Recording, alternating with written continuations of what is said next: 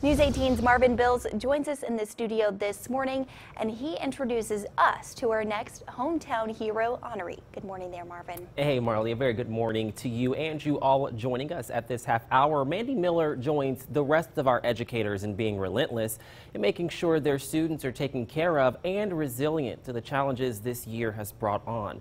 That's why she was nominated as this month's hometown hero. Take a look at just a few of the reasons she was recognized. It's safe to say that in 2020, we've all had to think outside the box, and for third grade teacher at Edgelea Elementary, Mandy Miller, that statement holds true to her. I teach with a lot of humor and I focus on building relationships and being engaging. Like many teachers, Miller has had to adapt to an acquired way of teaching, e learning.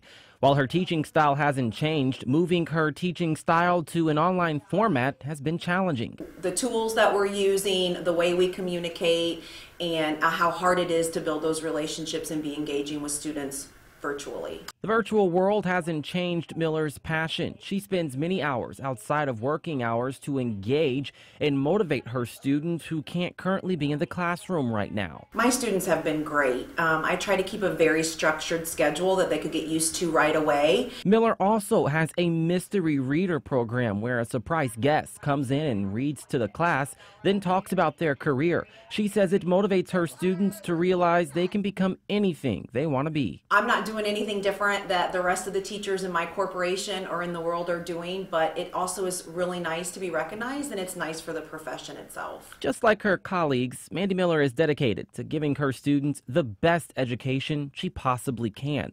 That's why she says she'll never stop creating a positive impact. Whether they're at home or here in the classroom, whether they're third graders or seniors, they will always be considered my kids because of the relationships that we built when I had them for the year. And for that reason, she's our hometown hero.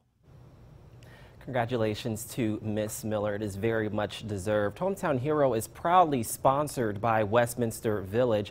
Let Westminster and WLFI help you recognize a person for all they do. Head over to this story on our website and nominate someone right now. In studio, Marvin Bills, News 18.